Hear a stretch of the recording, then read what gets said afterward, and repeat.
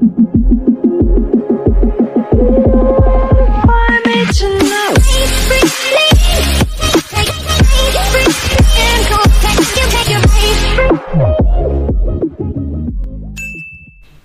so jadi di video kali ini gue bakal ngebahas tentang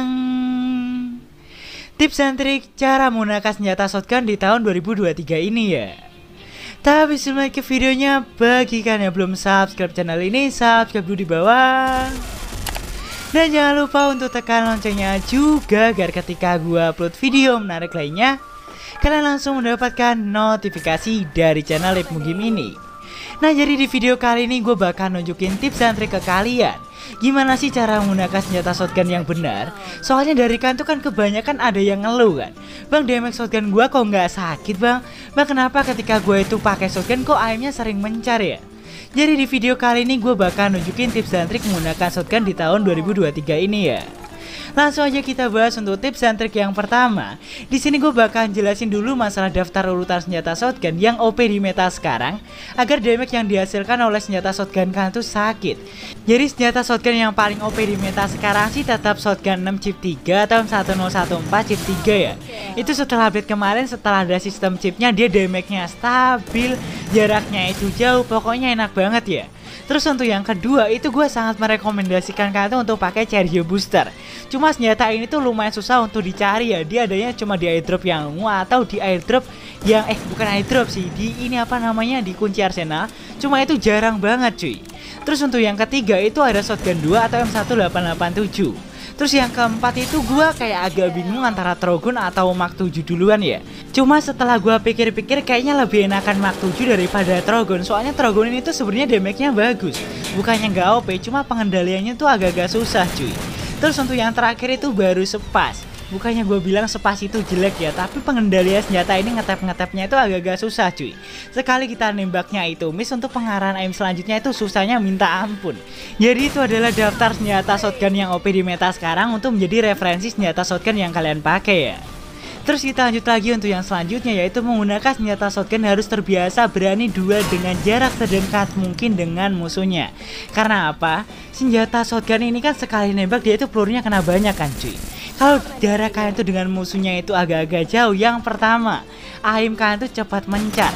Terus yang kemudian race-nya itu agak karena senjata shotgun ini tuh nggak sejauh dengan senjata SMG jadi damage yang dihasilkan itu nggak terlalu sakit cuy Cuma kalau misalkan senjata kayak tipikal M1014 dengan sistem chip 3 Itu masih bisa stabil cuy dengan jarak yang lumayan jauh.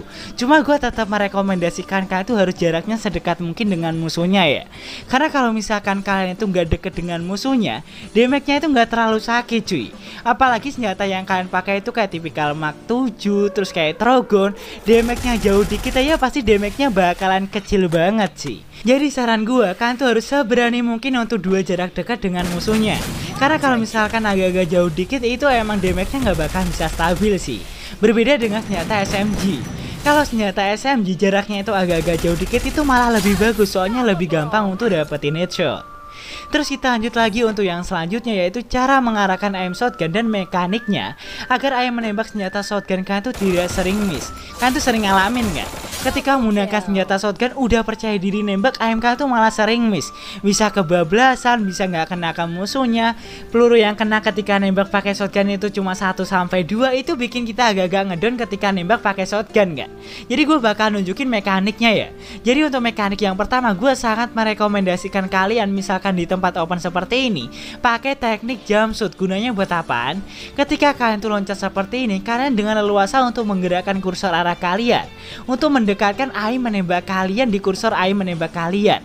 Itu semakin mudah untuk menggerakkan kursor aim kalian dengan cara jumpsuit.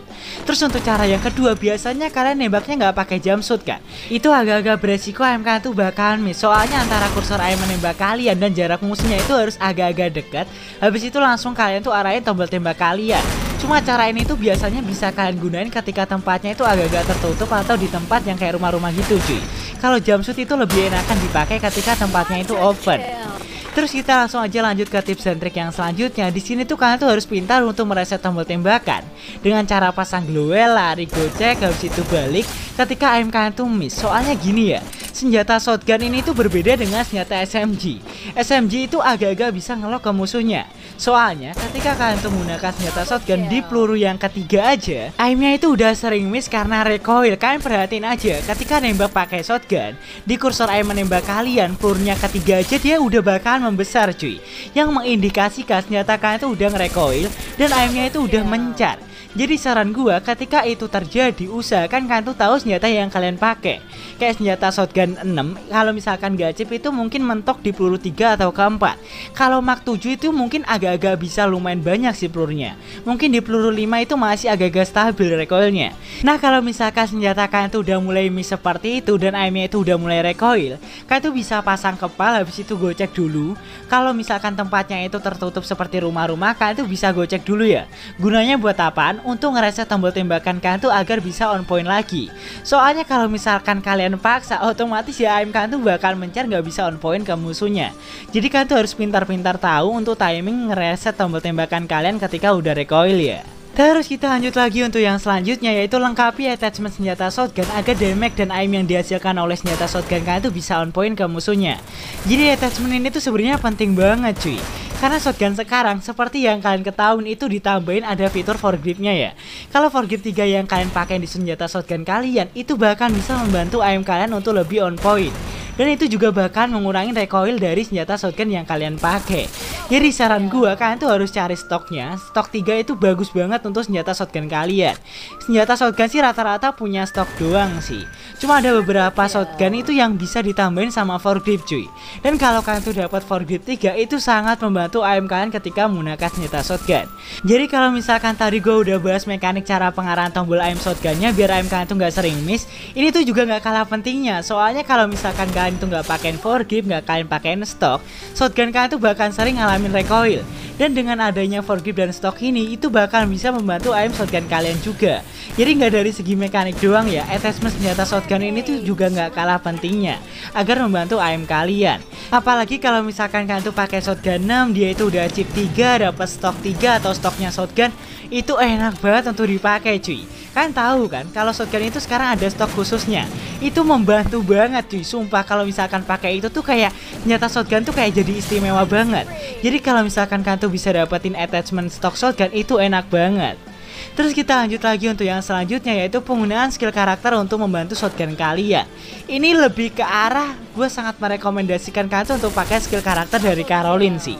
Kalau misalkan kalian tuh pakai skill karakter Caroline, biasanya orang-orang ketika menggunakan shotgun ketika aimnya miss biasanya kan nggak lari menggunakan melee kan. Karena dari mereka itu biasanya menggunakan trik dengan cara ngerilus senjata. Jadi ketika aimnya itu udah miss, dia itu bahkan gocek dengan cara ngerilus senjata baru lari lagi. Dan dengan cara itu dengan penggunaan skill karakter Caroline, lari kalian tuh bakalan semakin kenceng dan gak kelihatan lambat cuy. Jadi saran gue skill karakter pertama yang kalian bisa pakai adalah skill karakter Caroline. Karena ketika kalian tuh menggunakan senjata shotgun, lari kalian tuh bakalan semakin kencang yang membuat musuhnya itu agak-agak susah untuk nembakin ke arah kalian. Terus yang kedua ini nggak nggak terlalu gue rekomendasiin banget sih, cuma bisa menjadi referensi untuk skill karakter yang kalian pakai, yaitu skill karakter dari Luna. Ini bisa mempercepat rate of fire senjata shotgun kalian. Ini tuh kayak gimana ya rate of fire dari skin senjata shotgun ini kan udah istimewa. Ditambah dengan skill karakter yang nambah rate of fire itu enak banget cuy. Jadi untuk konten kali ini mungkin sampai di sini dulu ya. Bagi kalian yang belum subscribe channel ini, subscribe dulu di bawah.